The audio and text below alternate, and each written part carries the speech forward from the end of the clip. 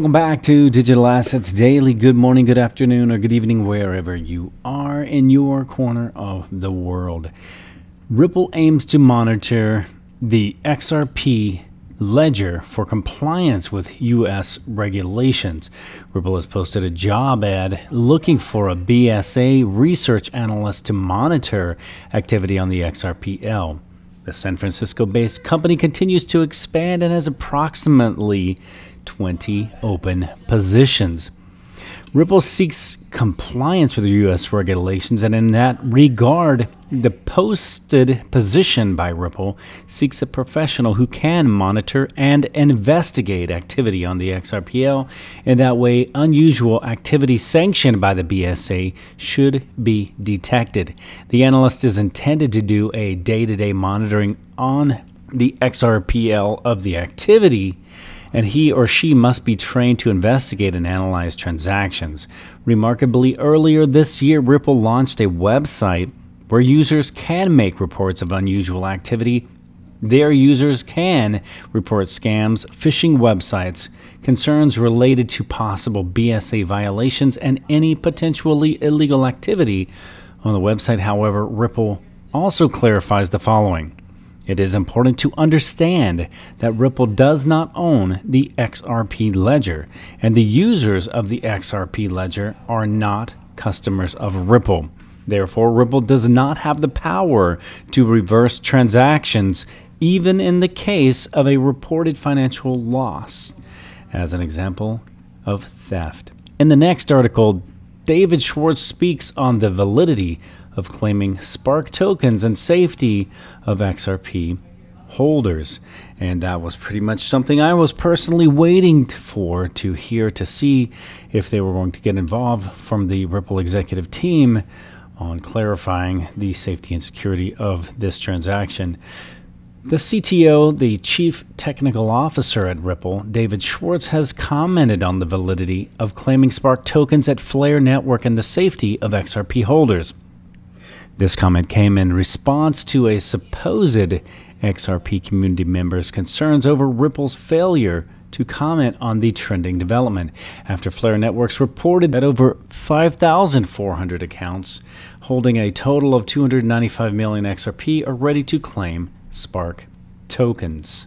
On the next article, the DHS braces for a potential EMP attack as presidential election nears and the U.S. Department of Homeland Security DHS released a new report warning about a potential electromagnetic pulse EMP against the U.S. DHS's warning, published Thursday, September 2nd, or about 60 days until the U.S. election on November 3rd, indicates that there are evolving threats against the American homeland, most recently highlighting efforts to combat an electromagnetic pulse attack, which could disrupt the electrical grid and potentially damage electronics. The department released an EMP status report via the Cybersecurity and Infrastructure Security Agency, the CISA that said the key actions to address known EMP related vulnerabilities to critical infrastructure. EMP, the Electromagnetic Pulse Program Status Report, is in accordance with the Executive Order 13865 the Department of Homeland Security DHS through CISA and in coordinates with the interagency is taking key actions to address known EMP related vulnerabilities to critical infrastructure. And that again, whereas we continue to say if you have your currencies on an exchange, you may want to consider putting them somewhere safe and secure in a cold storage wallet any additional safety and security, again, is what it is. On the next article of discussion, the executive order on establishing the National Quantum Initiative Advisory Committee. The only reason I'm bringing up this article is because as we have the released with Google and IBM, the quantum computing and the quantum computers, and then you have the quantum financial system for the new financial system. And this is just showing they're continuing moving forward. On the next article, Brazil's chief central banker says the national digital currency could be ready by 2022. The president of Brazil's central bank thinks the country's national digital currency will be ready for launch by 2022 at a Bloomberg promoted event, the Banco Central BC. President Robert Campos Neto said that two years from now, Brazil will have the infrastructure for interoperable instant payments and an international convertible and credible currency required for a central bank digital currency, the CBDC. Next article London fintech Satoshi Pay reveals how they've leveraged blockchain or DLT to process real time micropayments for online publishers. So basically, again, everywhere you see happening with XLM is very similar to what's happening with XRP. The London based Satoshi Pay, a fintech firm that aims to provide fast and affordable payment solutions, has revealed that it has reached a key milestone in establishing its blockchain enabled clearing platform as a new standard for cross border transactions. And again, you can say that, flip it, and vice versa with XLM XRP. The Satoshi Pay team notes that as of August 20, they've handled more than 1 million euros in digital payments for their publishing clients.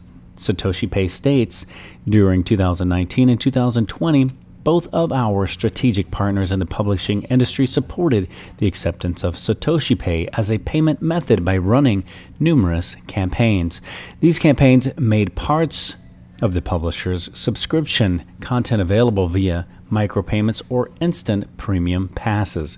And they added Axel Springer, a publisher, offers sponsored access to their real time incident mapping service to Tatort, part of a German newspaper BILD.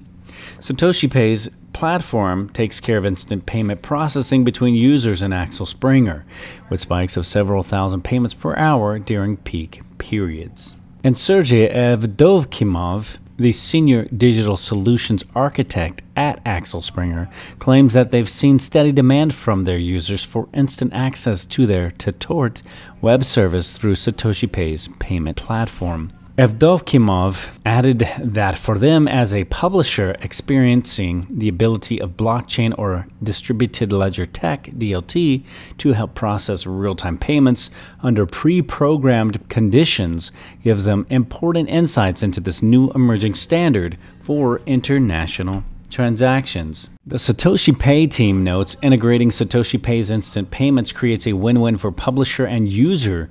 Publishers receive an additional tool for monetizing web traffic, potentially expanding their subscriber base, and users can conveniently try out the premium experience by making micropayments.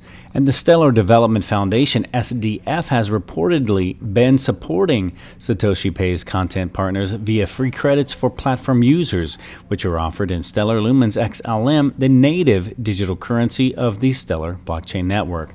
The Satoshi Pay team states in their blog post not only does this allow an easy start for users, but it generates initial micropayment revenues for publishers and demonstrates one of the major advantages of the decentralized Stellar network near instant and extremely low cost payments settled within 5 seconds for a fraction of a cent in transaction costs.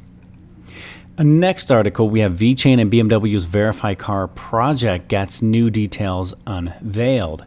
The VeChain and BMW partnership has been a hot one in the coming altcoin news and one to highlight for the VET cryptocurrency.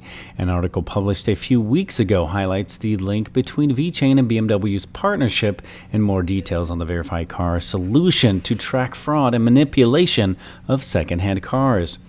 As we can see, the partnership between the automotive giant and VeChain have bared fruit so far and continues to do so, following the completion of the BMW program known as the Startup Garage.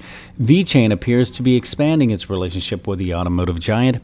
First unveiled in 2019 of April, the link between VeChain and BMW's Verify Car system lies in the ability of the cryptocurrency to bring transparency to the model and track potential fraud.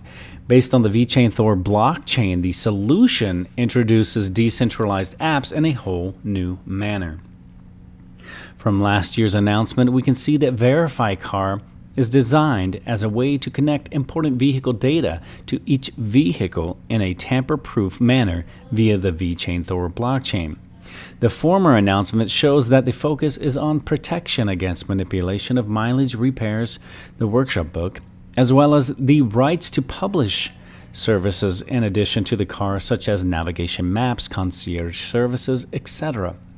A recent post on Reddit by one user shows more details of the project, and the user's intentions were to search for updates of the project in the VeChain news, which is best seen from one article that he found published in July on one German website. The article highlights the progress of the project and clarifies that BMW will not store any of the unique data collected from the vehicle in the VeChain public blockchain. Instead, the blockchain will be used to create a fingerprint which verifies the authenticity of data, while all data will remain in the owner's vehicle. BMW will not save any clear data about its cars on the public VeChain. The group only wants to reference this via a digital fingerprint. This clear data stays within the user's car. By accessing the app, the user decides who he would like to pass on which data, e.g., a workshop or a potential buyer. The recipients can compare the data with the digital fingerprints or reference stamps on the VeChain blockchain if clear data and the reference on the blockchain match and the recipient knows that the data is authentic. And according to BMW, the manipulation of vehicle data in Germany alone costs around 3,000 euro per unit sold. And I personally would not mind that in my car to take it to the workshop as we did our routine maintenance, or basically, if I were to purchase that, I would think that would be an excellent thing for vehicles to actually have. And in the next article, the VeChain attends the blockchain conference with Bosch and EU Commission. The second Cyprus Blockchain Summit will take place digitally to discuss potentially of to discuss potential of technology and its impact on how companies do business. The conference will be held digitally on September 10th of 2020. So basically in 2 days they're going to have the next conference. Under the name Potential Opportunities and Barriers of Blockchain Technology, the second Cyprus Blockchain Summit will take place digitally. Aimed at forward thinking organizations, the summit will aim to discuss the potential of this technology for professionals on the banking sector, insurance, financial services, human resources, and supply chain management amongst others. The event is organized by the IMH, the largest business knowledge transfer organization in Cyprus, according to its website, and dedicated to creating and organizing similar events. IMH has organized the second Cyprus Blockchain Summit with Cyprus Blockchain Technologies and Cyprus Blockchain Association, the CBA, and the private association Cyprus Computer Society, CCS. The conference aims at the following to help inform businesses of the latest trends and developments in blockchain and how it can be used to enable new capabilities. All right, guys, I'm going to leave you with a final thought. Good ideas start with coffee. I know it's simple, but I love coffee, and I've had many great ideas at Starbucks getting a fresh mocha. All right, guys, I hope you're having a great day. Remember, this is not financial advice, it is for entertainment purposes only. And much love to each and every one of you. Thank you for your support. We will catch you in the next one.